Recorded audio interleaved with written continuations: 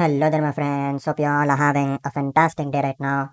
In this video we shall be solving a really fun chess problem using Python. So let's get started. So the problem that we are going to be solving is called the Knight's Tour and the objective of this problem is to move the knight through the chessboard such that the knight visits every cell in the chessboard. So for example, if the knight starts from this position, then it can move to this position and it can come here and can go like this. And in the end, it should have covered every cell on the chessboard and every cell should have been visited by it only once. So that is the objective of this problem. And this is a really famous problem and there have been many mathematicians who have been able to find solutions to this problem without any algorithms. And I also read somewhere that the ancient Indians also had found solutions to this problem. So having said that, let's look at how we can go about writing the algorithm to solve this problem. So the algorithm that we are going to be using will be called Warnsdorff algorithm. And and according to this algorithm we can solve this problem by placing the knight in a cell which has minimum number of possibilities. That is let's say we place the knight here and in the next step we can either come to this cell or we can go to this cell.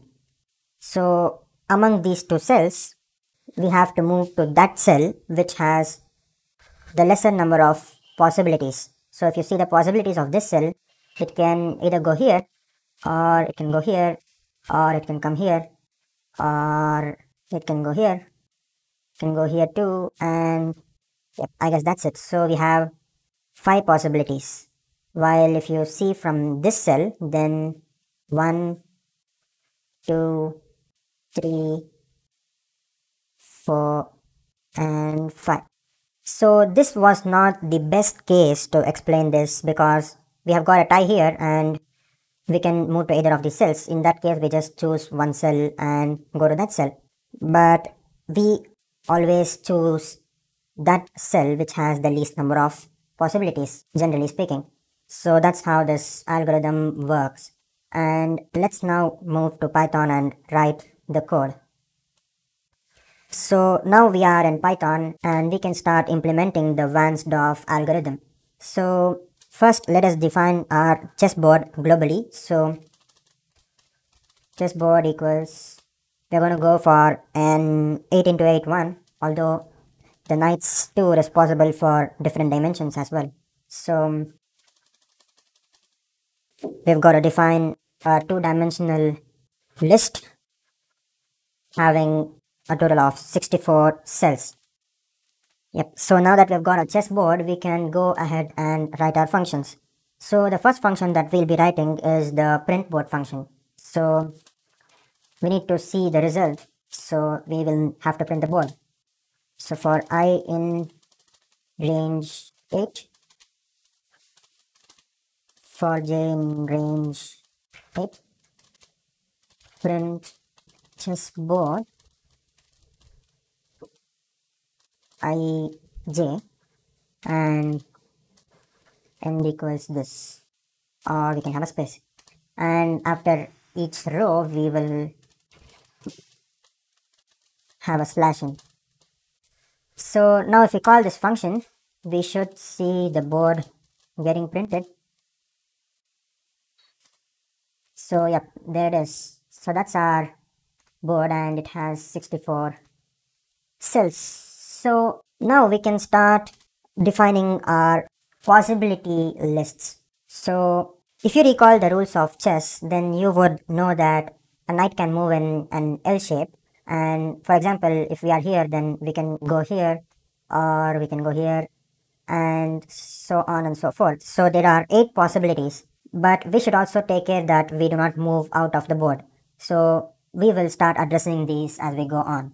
So the first thing that we be doing is we will define two tuples that is one for moving laterally and one for moving longitudinally so that we know what the possibilities are from a certain position.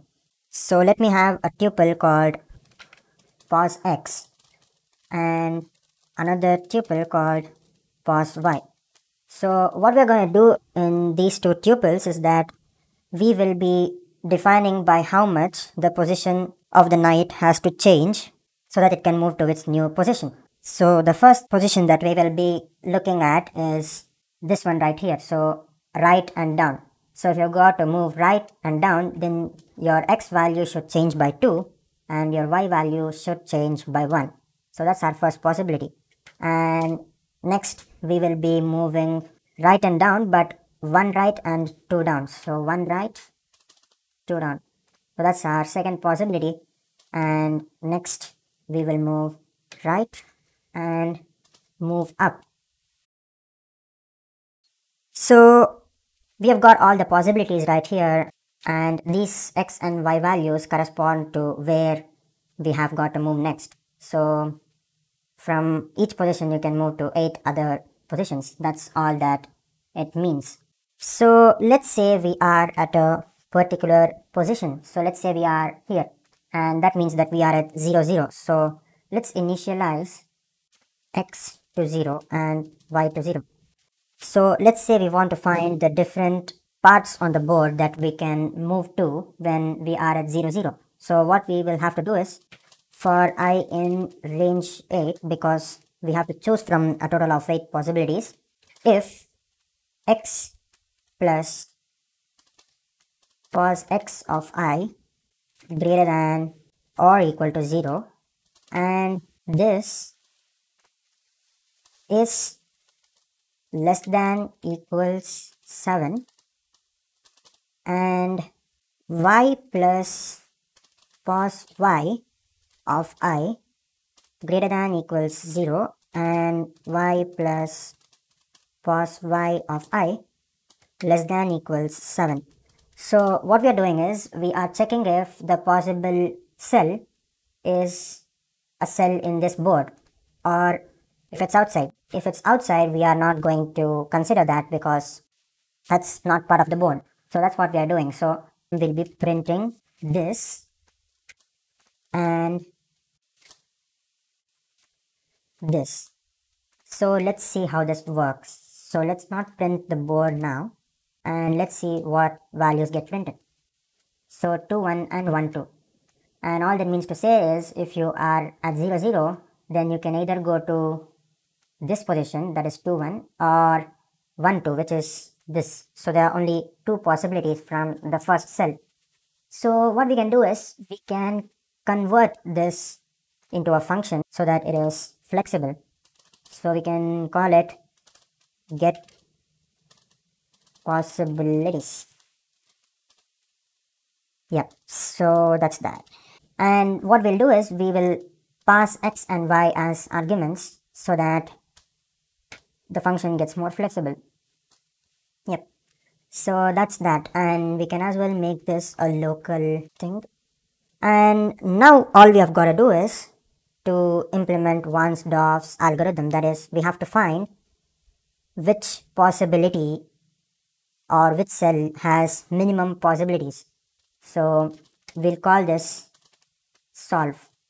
And inside this function, we will have to actually get the lengths of the possibilities of each cell and select the minimum one from that.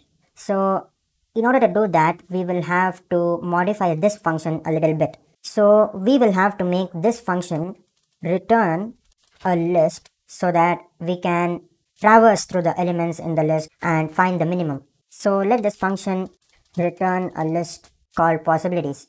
So initially possibilities will be an empty list and instead of this print statement what we'll do is we will append a list of these two to this possibilities list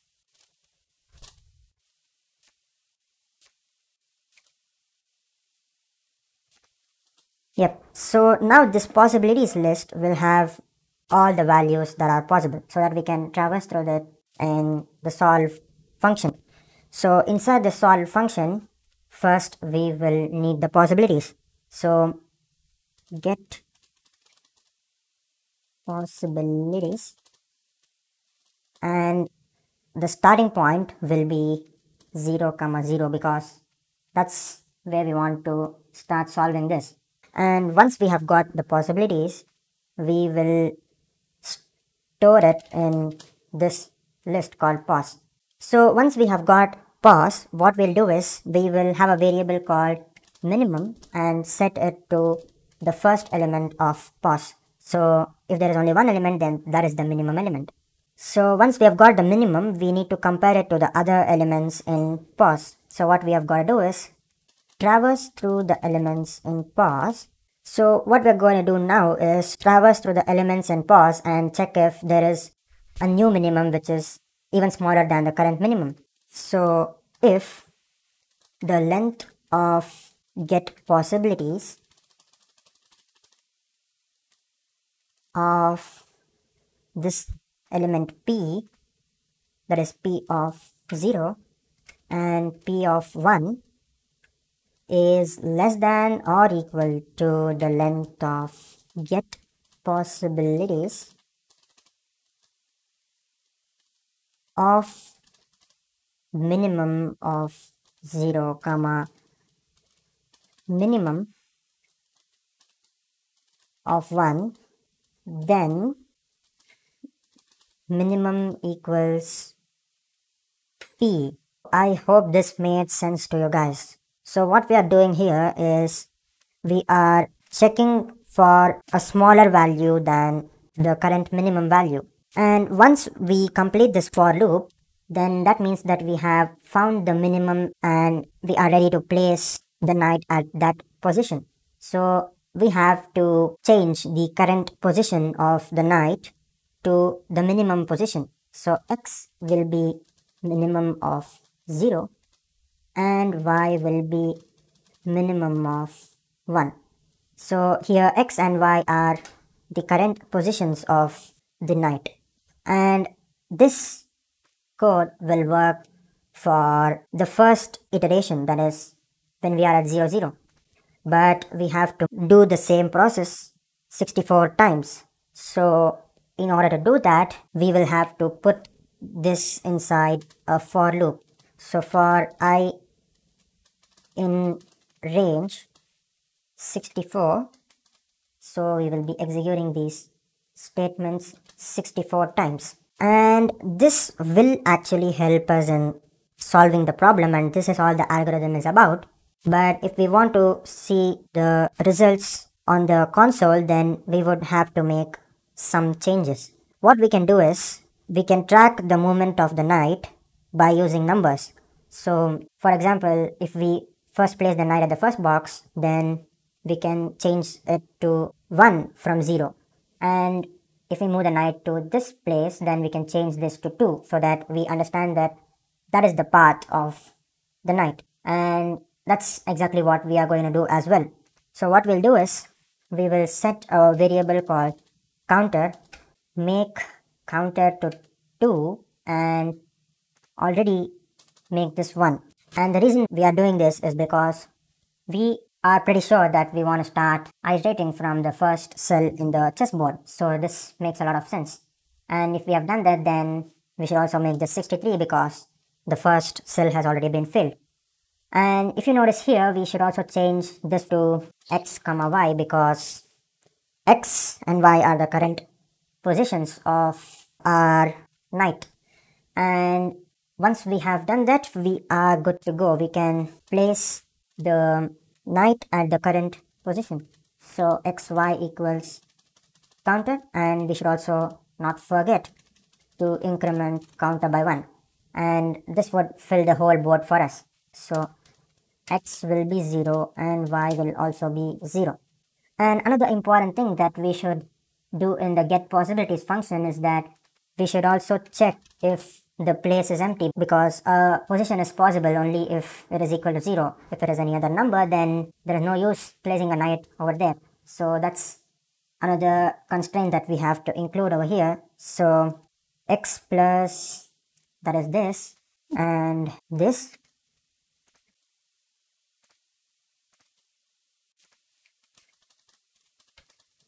if that part of the chessboard is 0